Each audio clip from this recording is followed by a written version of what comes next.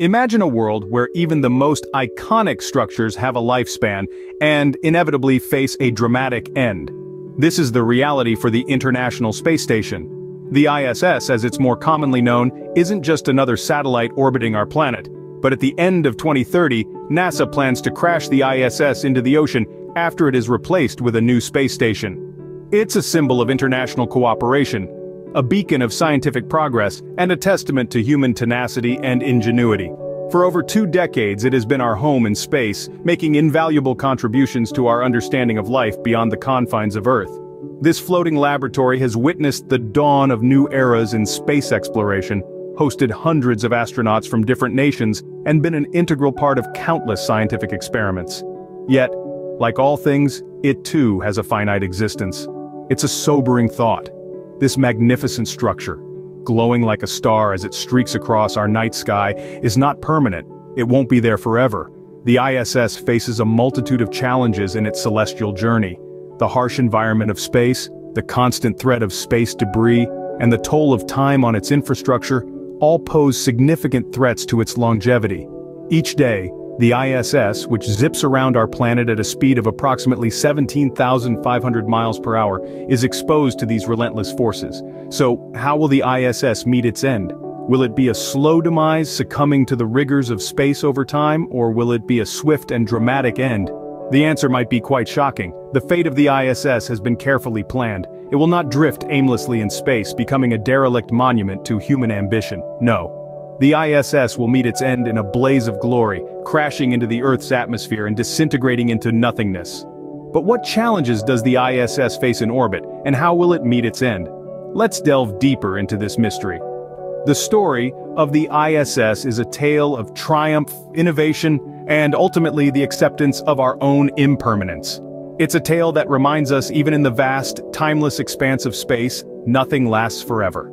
The ISS, despite its scientific marvel, faces numerous challenges in its orbit. Now imagine a car that's been running non-stop for over two decades, it's bound to face a few hiccups, right?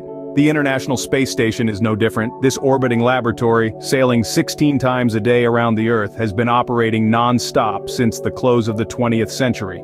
The most immediate challenge it faces is space debris. Picture this, tiny fragments of space junk, no bigger than a fleck of paint hurtling through the vacuum at speeds of up to 17,500 miles per hour. A collision with one of these fragments could cause significant damage to the ISS. And let's not forget, the number of these fragments has been steadily increasing over the years, but it's not just about dodging space debris. The ISS, like any other structure, is subject to the wear and tear of time. The station's aging infrastructure is another hurdle. Systems fail, equipment malfunctions, and the harsh conditions of space take their toll. It's a constant battle against time and the elements to keep the station up and running. And let's not underestimate the human factor. Astronauts aboard the ISS are tasked with a myriad of maintenance and repair tasks, often under extreme conditions. Their work is crucial in keeping the station operational, but it's a monumental task, and one that's only getting harder as the ISS continues to age. These challenges are not insurmountable, but they do put a strain on the station's resources and the astronauts who call it home. They also put a ticking clock on the lifespan of the ISS. But the question remains, how will the ISS meet its end? The answer might surprise you, but that's a story for another scene.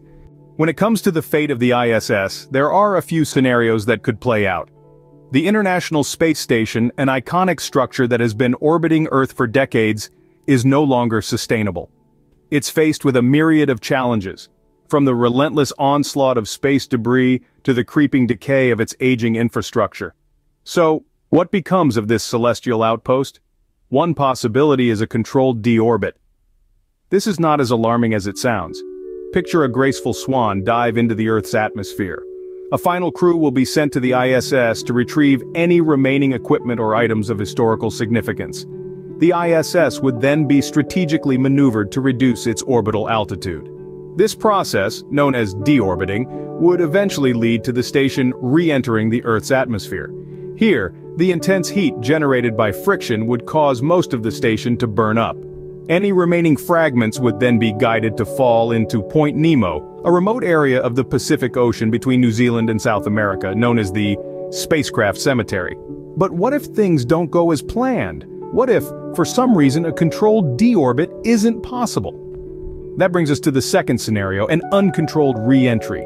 This is the stuff of Hollywood disaster movies. Without the ability to guide its descent, the ISS could potentially re-enter the Earth's atmosphere at any location.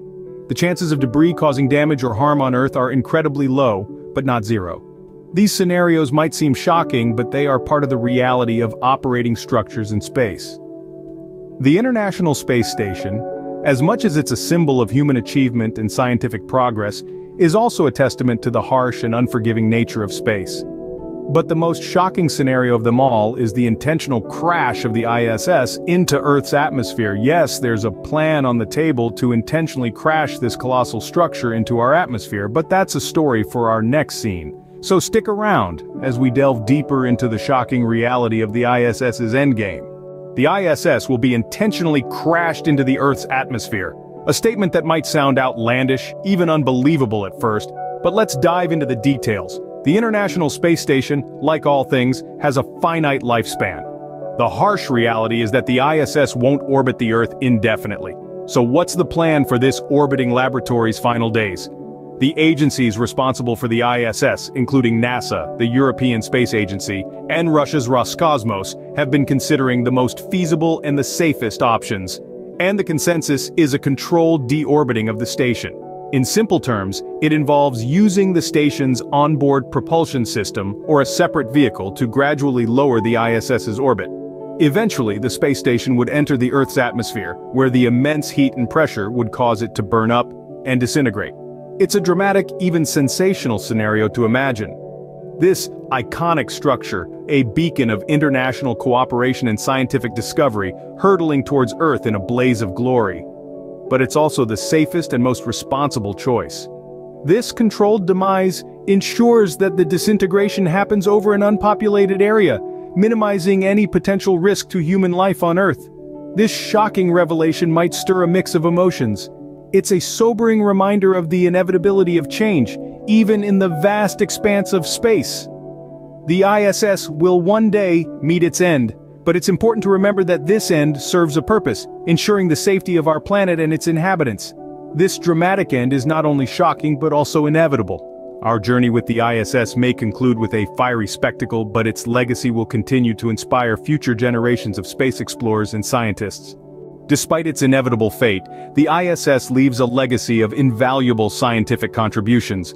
This orbiting laboratory has been a beacon of international cooperation and scientific advancement for over two decades, a symbol of humanity's aspiration to understand and explore the cosmos. But every star, however bright, must eventually fade. The ISS, like all things, has a natural lifespan, and as we've discussed it faces a dramatic end, not in the vacuum of space but in the fiery embrace of our own atmosphere. This end, though shocking, is a necessary measure to ensure the safety of our planet from the potential risks of space debris. The International Space Station, in its years of operation, has served as the world's leading laboratory for conducting cutting-edge research in biology, human biology, physics, astronomy, and meteorology. Scientists aboard the station have made discoveries that have changed our understanding of life on Earth and beyond, from the effects of microgravity on the human body to the behavior of fluids in space. Furthermore, the ISS has been a crucial testing ground for technologies that will drive future space exploration. It has helped us learn how to live and work in space, preparing us for longer missions to the moon, Mars, and beyond. But perhaps most importantly, the ISS has shown us what humanity can achieve when we work together. It stands as a testament to the power of international collaboration, a symbol of our shared desire to explore the unknown and push the boundaries of what is possible. As we look to the future, the lessons learned and the advancements made aboard the ISS will continue to guide us. The station's legacy will live on in the scientists it has inspired, the discoveries it has enabled, and the path it has paved for future space exploration. As we say goodbye to this iconic structure, we remember its profound impact on space exploration. The International Space Station, though destined for a fiery end, leaves behind a legacy that will continue to illuminate the path of human progress long after its final descent. Now that you know the shocking fate of the ISS, we'd love to hear your thoughts. Imagine the International Space Station, an iconic structure of human achievement in space, meeting its dramatic end it's a story of triumph, of challenges overcome, and eventually, of a dignified farewell to a star-studded stage. We'd relish your perspective on this narrative. How do you feel about the inevitable disintegration of the ISS? What are your thoughts on the scientific advancements it has made possible? And what about the future? What do you think lies ahead for space exploration after the ISS? We at Time Pilgrimage are on a mission to bring you the most fascinating stories from the cosmos and beyond. If you've enjoyed this journey as much as we have, consider subscribing. We have a galaxy full of content waiting for you. So, join us in this journey of discovery and exploration as we continue to unravel the mysteries of our universe. Until next time.